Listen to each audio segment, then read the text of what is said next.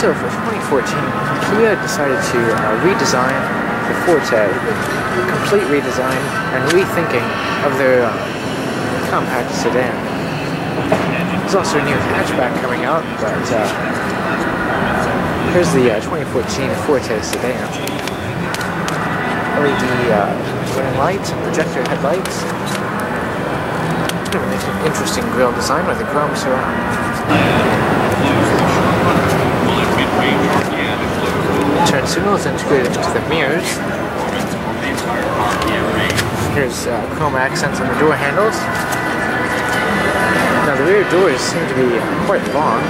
They extend quite far over the wheel. Very uh, sporty looking tail lights here. This is the EX trim level. Chrome exhaust. This one has a uh, gray perforated leather interior.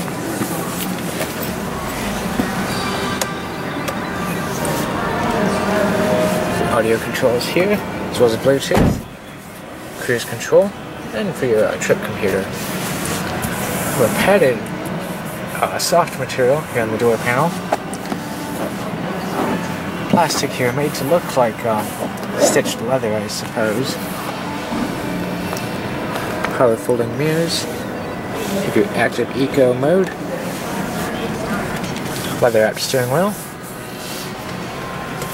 And also you have this faux carbon fiber look throughout the center stack. You have a touchscreen navigation system. Dual zone automatic climate control. Quite a bit of storage here. Cup holders. Kind of a narrow armrest but it does slide. The center console is pretty large.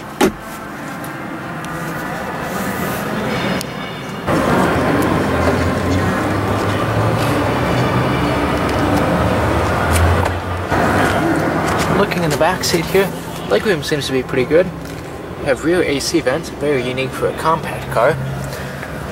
And uh, here's your full down center armrest. I have two cup holders.